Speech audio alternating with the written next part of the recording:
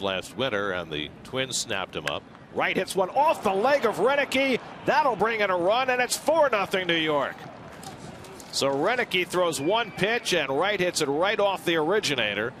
The Mets have put together seven straight hits to produce four runs.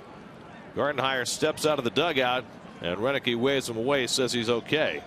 Wright picks up his ninth RBI of the year as Cowgill comes in. Well, first ball, fastball hitting. You got a reliever coming in cold. They've been warming up. I've always just, you haven't seen them. Get a first ball, fastball. It's almost take the bat like you're a pinch hitter, particularly with men on base.